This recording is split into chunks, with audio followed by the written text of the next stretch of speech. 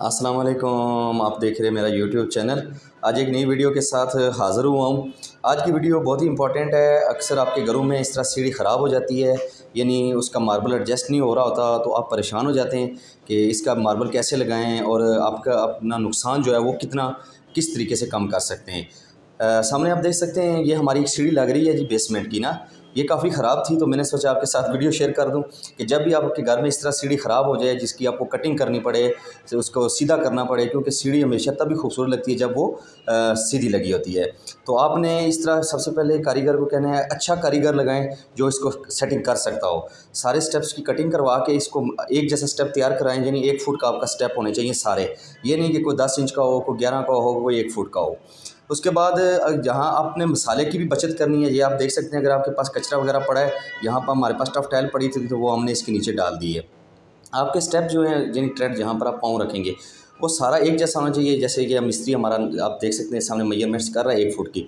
یہ اسٹیئر ہماری باہر ہے، مین روڈ کے اوپر۔ تو اس لیے میں لائیو اس کی نہیں ریکارڈنگ کر رہا کیونکہ وہاں پر شور بہت زیادہ ہے گاڑیوں کا، اس لیے میں نے اس کی ویڈیو بنا لی ہے۔ اس کی ریکارڈنگ جو ہے وہ میں آفس میں بیٹھ کے کر رہا ہوں۔ انشاءاللہ ایک دو دن میں آپ کے ساتھ جو ہے وہ ایز پر سائڈ بھی ویڈیوز شیئر کروں گا تاکہ آپ کو اندازہ ہو جائے گا کہ یہ ہم کام کدھر کر رہے ہیں۔ کچھ لوگ یہ بھی سوچ رہے ہوں گے کہ شاید ہم کسی اور کی ویڈیوز بنا رہے ہوتے ہیں۔ تو ایسی بات بالکل نہیں ہے۔ انشاءاللہ یہ پلازا ہمارا پوری سوری کھنا پل انٹرچینج بھی یہ مین دبئی ٹاور کے ساتھ ہے۔ وہاں پر آ کے آپ وزٹ بھی کر سکتے ہیں۔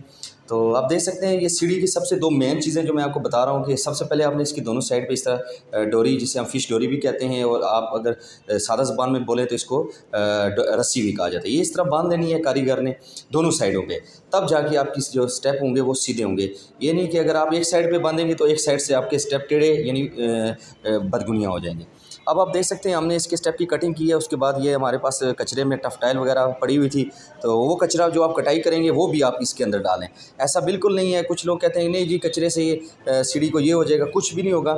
آپ نے جو ہے وہ مٹیریل بھی بچانا ہے سیمنٹ بھی بچانا ہے۔ تو اس لیے آپ نے ہمیشہ اس طرح کام کرنا، جیسے میں آپ کو ویڈیو میں بتا رہا ہوں۔ اگر آپ کی اسٹیئر خراب ہو گئی ہے کنکریٹ کے دوران۔ اکثر گھروں میں ہو جاتا ہے کہ اسٹیئر جو ہے وہ خراب ہوتی ہے جب آپ اس طرح اس کے ٹف ٹائل یا کچرا ڈال لیں تو اس کے بعد آپ اس کو پانی لگائیں۔ پانی لگانے کے بعد اس کے اوپر سیمنٹ کا محلول جسے نیرو بھی کہا جاتا ہے، وہ لگائیں۔ اچھی طرح نیرو لگائیں۔ نیرو میں کسی قسم کی آپ نے وہ رعایت نہیں کرنی۔ اچھا نیرو لگائیں۔ اور رائزر جو، جیسے میں پہلے ویڈیوز میں بھی بتا چکا ہوں، آپ ڈرائی بانڈ کے ساتھ لگائیں، جیسے آپ سامنے دیکھ سکتے ہیں۔ اور جو ٹریڈ ہوگا، وہ آپ نے ہمیشہ نیرو اور مسالے کے ساتھ لگانا ہے۔ اس کے بعد یہ ماربل کی بات کریں تو یہاں پر ہم زیارت گرے لگا رہے ہیں وائٹ کلر میں۔ اگر آپ کی اسٹیئر ایسی جگہ پہ ہے جہاں پر وینٹیلیشن اور روشنی کا مسئلہ ہے، تو وہاں پر آپ وائٹ ماربل بھی لگا سکتے ہیں۔ اس کے بعد جب آپ اس کی دونوں سائڈیں گنیاں کر لیں، تو اس کو آپ نے پھر سیلو پہ ڈوری باندھ کے سیدھا کر لینا ہے۔ اس کے بعد آپ دیکھ سکتے ہیں، یہ پونی انچی کا ماربل لگا رہے ہیں، آدھی آدھی انچی ہمارا جو ہے، وہ اس کا ادھر ٹک بنا ہوا ہے۔ آپ سامنے دیکھ سکتے ہیں ویڈیو میں بھی۔ اس کے علاوہ یہ مسالہ، مسالے کی ریشو میں پہلے ویڈیوز میں بھی بتا چکا ہوں، ڈیٹیل کے ساتھ ادھر بھی بتا دیتا ہوں کہ ایک نسبت چار یعنی ایک چار جو پلستر والی ریشو ہوتی ہے اس کے حساب سے آپ نے مسالہ تیار کرنا ہے۔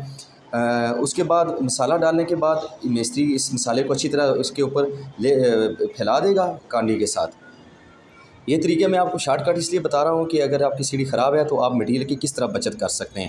تو جس جب یہ مسالہ مسی طرح اچھی طرح بچھا لے گا تو اس کو پھر اس کے گز کے ساتھ اس مسالے کو وہ لیول کرے گا۔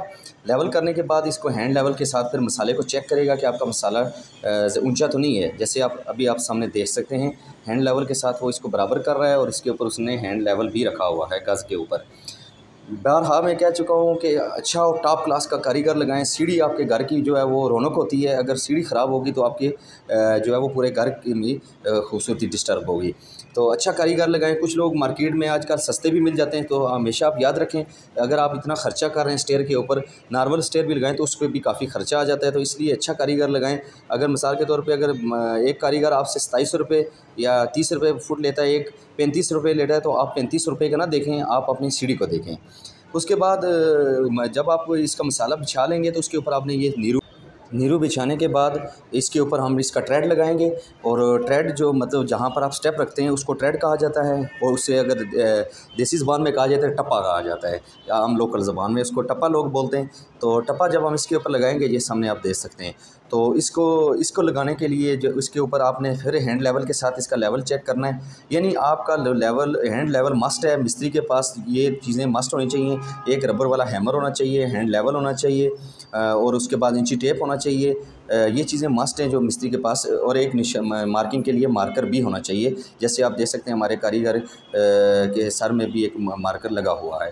اس کے بعد اس کی سائڈیں آپ نے سیدھی کرنی ہے سائڈیں بعد میں جو ہے نا وہ پلستر ہو جائیں گی۔ یہ جو سائڈیں ہوں گی، یہ آپ دیکھ سکتے ہیں، یہ جب سیڑھی لگ جائے گی، آپ کی سیڑھی بالکل سٹیٹ ہو جائے گی۔ اس کے بعد آپ نے ایک مستری کو لگا کے یا اسی جو ماربل والا مستری ہوتے ہیں، یہ بھی پلستر کر لیتے ہیں۔ تو آپ اس کو کہہ دیں کہ جی یہ ہمیں پلستر کر کے سیدھی کر دو۔ اسٹیپ آپ کے بالکل سیدھے ہونے چاہیے۔ اگر اس کے ریٹ کی بات کی جائے تو تقریباً پانچ سو روپیہ پر اسٹیپ اس کا ریٹ ہے لم سم۔ اگر فٹوں کے حساب سے کریں گے تو وہ آپ کو دو سو روپے، ڈھائی سو روپے، اس طرح ایک سو اسی روپے پر فٹ کے حساب سے سیڑھی کا ریٹ ہے لگانے کا۔ ماربل کا ریٹ میں پہلے ہی آپ کے ساتھ شیئر کر چکا ہوں۔ اس کے بعد جو مستری ہوگا لگانے والا، اس کے پاس اس طرح آپ دیکھ سکتے ہیں ربر والا ہیمر ہونا چاہیے، وہ اچھی طرح اس کو پریس کرے ماربل کو، تاکہ وہ صحیح طرح اس کے اوپر اسٹیپ بیٹھ جائے، تاکہ بعد میں آپ کا اسٹیپ جو ہے وہ کچھ مطلب اسٹیپ بولنا شروع ہو جاتے ہیں۔ بولنے سے مراد یہ ہے کہ جب آپ اس کے اوپر چلتے ہیں، تو اس طرح محسوس ہوتا ہے کہ اسٹیپ اندر سے خالی ہے۔ تو اس طرح بالکل نہیں ہونا چاہیے، اس سے آپ کی سیڑھی بدصورت لگے گی۔ اچھی طرح اس کو پریس کریں، اور جب یہ سیڑھی ایک دو دن دو دن اس کے اوپر کوئی بندہ چلے نہ۔ یہ اس چیز کا آپ خاص کیا رکھیں، کہ جب بھی تازی سیڑھی لگائیں تو اس کے اوپر آپ موومنٹ نہ کریں۔ اس کی ریزن یہ ہوتی ہے کہ جب آپ سیڑھی کے اوپر موومنٹ کریں گے تو سیڑھی جو ہے وہ متازی ہوتی ہے، وہ اسٹیپ ہل جاتے ہیں۔ اس کی وجہ سے آپ کی جو اسٹیپ ہیں وہ بعد میں آواز دینا شروع کر لیتے ہیں۔ جی آپ دیکھ سکتے ہیں، ابھی ہمارا ٹریڈ لگا ہے تو ہم نے اس کو ہینڈ لیول کے ساتھ چیک کر رہے ہیں، اس کا لیول اور ساتھ ساتھ اس کو اور پریس کر رہے ہیں تاکہ ہمارا لیول بالکل اسٹیٹ ہو جائے۔ تو آج کی ہماری یہ ویڈیو تھی ویڈیو کافی لمبی بھی ہو گئی ہے، لیکن میرا بتانے کا مقصد یہ تھا کہ اگر آپ کے گھر میں اس طرح اللہ نہ کرے، سیڑھی خراب ہو جائے، تو اس کو آپ کیسے صحیح کر سکتے ہیں، مٹیریل کی کیسے بچت کر سکتے ہیں، ساری چیزیں میں نے بتا دی ہیں، ریٹ بھی آپ کو بتا دی ہے سیڑھی کا کہ پر فٹ یا اگر فٹ میں لگانا چاہتے ہیں تو اس کا کیا ریٹ ہے اور پیس کے حساب سے لگانے چاہتے ہیں تو اس کا کیا ریٹ ہے۔ اس کے علاوہ لاسٹ پہ یہ دیکھ سکتے ہیں، ابھی ہماری سیڑھی بالکل تیار ہو چکی ہے۔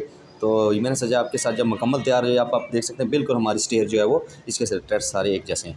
Thank you so much video دیکھنے کے لیے اللہ